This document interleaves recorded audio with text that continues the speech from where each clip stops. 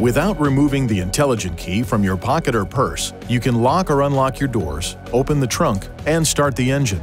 The driver's and front passenger's doors are equipped with a one-touch sensor that allows for easy unlocking of the vehicle.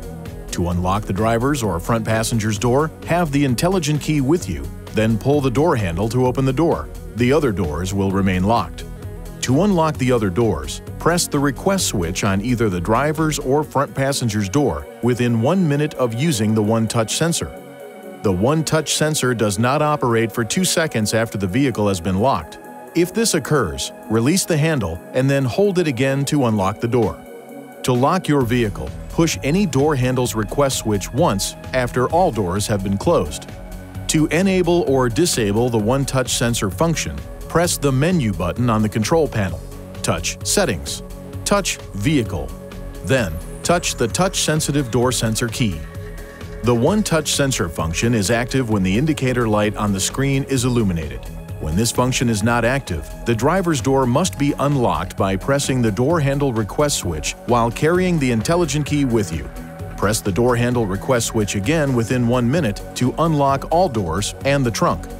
The intelligent key has lockout protection in the event you accidentally lock your key inside the vehicle. If you exit with the intelligent key inside the vehicle and then lock and close the door, a warning chime will sound and the door will unlock automatically. These lock and unlock functions are operational when the intelligent key is within about 2.5 feet of a request switch. To activate the panic alarm, press this button for more than one second the panic alarm will sound and the headlights will stay on for a period of time. The intelligent key can also be used to operate door locks, windows, and the moonroof if so equipped from outside the vehicle at a distance of up to 33 feet. To lock doors, press the lock button. Your hazard warning lights will flash twice, your horn will beep once, and you'll know that all doors are locked. To unlock the doors, press the unlock button. The hazard warning lights will flash once and the driver's door and fuel filler door will unlock. Press again within one minute to unlock all doors and the trunk. All doors will automatically relock within one minute unless you push the ignition switch or open any door. Hold the unlock button for more than 3 seconds after the doors are unlocked to lower the automatic windows and open the moonroof if so equipped. In a rare instance when your intelligent key battery is discharged, you can still use the mechanical key to lock or unlock the vehicle. You'll find the mechanical key concealed on the back of the intelligent key. To remove it, release the lock knob on the back of the intelligent key and slide the mechanical key out.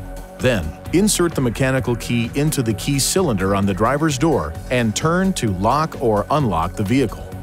When you leave a key with a valet, your intelligent key can help you keep your belongings safe in your vehicle. Use the mechanical key to lock the glove box. You can then give the intelligent key to the valet and take the mechanical key with you.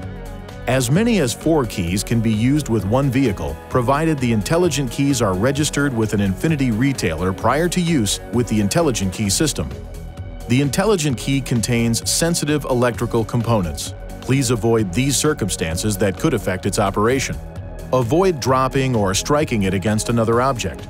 Keep it away from water keep it away from equipment with magnetic fields, including computers, cell phones, TVs, and audio accessories. And avoid using a keychain that contains a magnet. Please see your owner's manual for important safety information, system limitations, and additional operating information.